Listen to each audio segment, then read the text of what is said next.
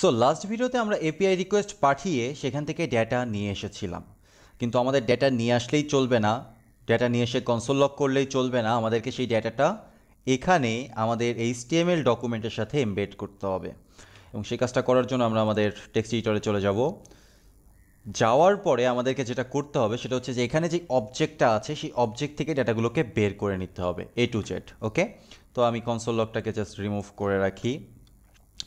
Remove করে রেখে আমি একটা অবজেক্ট তৈরি করি। এই অবজেক্টটার নাম দিলাম আমি ওয়েদার অবজেক্ট ওকে পরবর্তীতে এই সেম অবজেক্টটা আমরা কি করব? সেই সেম অবজেক্টটা আমরা ব্যবহার করব ডেটাবেজে ডেটাটা সেভ করার জন্য।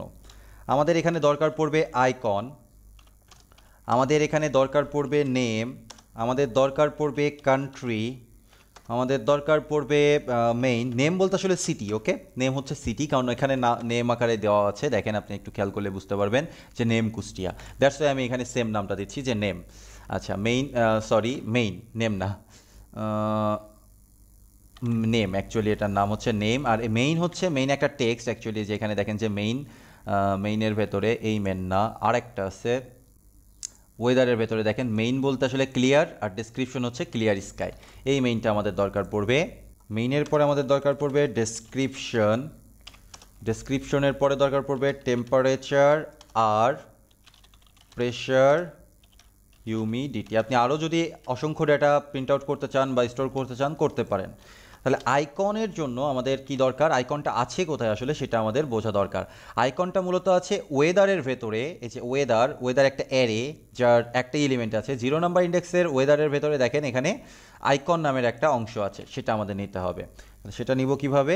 সেটা হচ্ছে, এই যে দেখেন রেসপন্স তাহলে আমাদের লিখতে হবে রেসপন্স ডট ডেটা তারপর ওয়েদার এইভাবে করে। কিন্তু আমি এখান থেকে ডিস্ট্রাকচারিং করে নিতে পারি ডেটাটাকে ডেটাটাকে আমি ডিরেক্টলি রিস্ট্রাকচারিং করে নিলাম। রিস্ট্রাকচারিং করে নিয়ে এবার আমি লিখতে পারি data dot weather zero zero number ইন্ডেক্সের ডেটাটা আমাদের দরকার এবং এখান থেকে আমাদের দরকার আইকন এবার আমাদের দরকার হচ্ছে নেম নেমটা কোথায় আছে দেখেন তো? ডিরেক্টলি ডেটা ডট নেম একদম রুট লেভেলে আছে। ডেটা ডট নেম কান্ট্রি কোথায় আছে? কান্ট্রি হচ্ছে data dot sys dot country data dot sys dot country আচ্ছা এবার মেইন কোথায় আছে? মেইন হচ্ছে ডেটা ওয়েদার ওয়েদার জিরো এর ভেতরে মেইন আছে ডেসক্রিপশন আছে।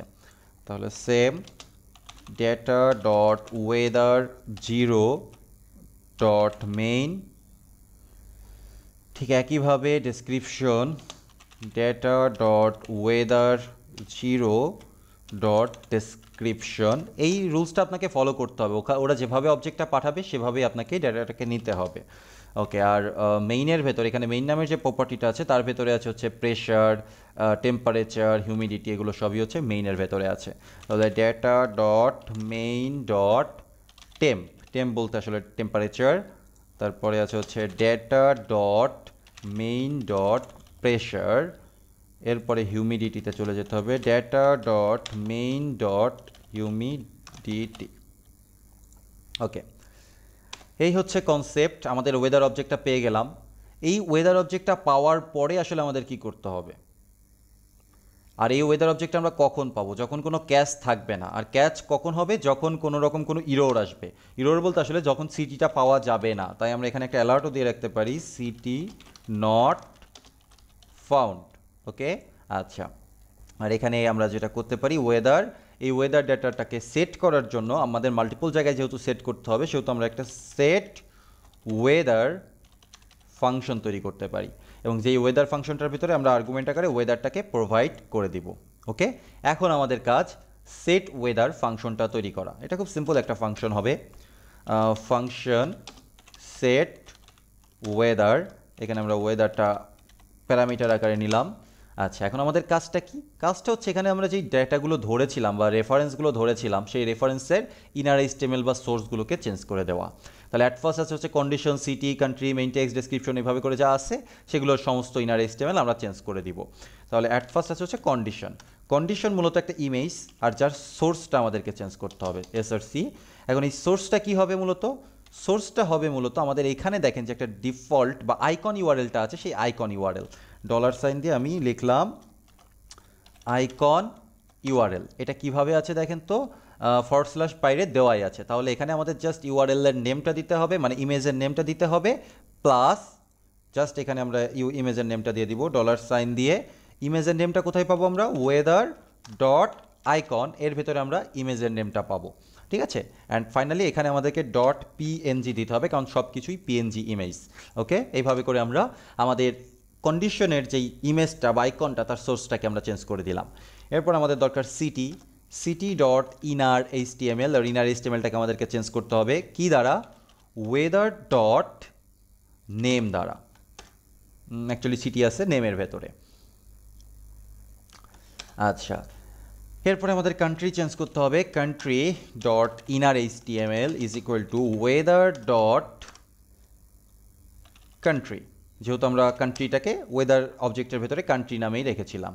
আচ্ছা এরপরে আমাদের মেইন টেক্সট আমরা এখানে বোধহয় লিখেছিলাম মেইন টেক্সট এক্স্যাক্টলি মেইন টেক্সটটাকে চেঞ্জ করতে হবে। Main text dot inner HTML is equal to weather dot main okay then হচ্ছে description dot inner HTML is equal to weather dot description এবার বাকি থাকল temp temp dot inner HTML is equal to weather dot inner HTML আচ্ছা এরপরে হচ্ছে আমাদের দরকার pressure dot inner HTML is equal to weather dot এখানে আমরা weather dot inner HTML দিয়েছি, কিন্তু এটা weather dot inner HTML হবে না ওয়েদার ডট টেম্প হবে।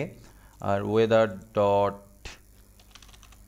pressure and finally humidity. Humidity dot inner html is equal to weather dot humidity. এই হচ্ছে সেট ওয়েদার ফাংশন এবং এই সেট ওয়েদার ফাংশনটা কখন কল হবে? যখন গেট ওয়েদার ডেটাটা কল হবে ঠিক তখন। এই যে এখানে আমরা কল করে দিয়েছি। ওকে এবার আমরা সেভ করি। সেভ করে আমরা ব্রাউজারে যাই। এটা আমাদেরকে বলছে অ্যালাউ করব না ব্লক করব। ফার্স্টে ব্লক করে দেই। এটা কিছুক্ষণের ভেতরেই দেখেন এই জায়গাটাকে ফিল আপ করেছে আমাদের কুষ্টিয়া ডেটা দ্বারা, কারণ যেহেতু ডিফল্ট সিটি হচ্ছে কুষ্টিয়া, সেই হিসাবে কুষ্টিয়া ডেটা দ্বারা এখানে ডেটাটাকে ফিল আপ করেছে। আবার যদি আমি এটাকে ম্যানেজে যাই ম্যানেজে গিয়ে এটাকে রিমুভ করে দেই রিমুভ রিমুভ করে দিয়ে আরেকবার রিফ্রেশ দেই এবং অ্যালাউ করি, তাহলে কারেন্ট লোকেশন দ্বারা সেই ডাটাটাকে ফিল আপ করবে। দেখেন ঢাকা ডিস্ট্রিক্ট এবং সমস্ত কিছু পারফেক্টলি এখানে সেট অবস্থায় আছে। তাহলে আশা করি বুঝতে পারছেন যে কীভাবে আমরা আমাদের ডাটাটাকে আপডেট করতে পারি।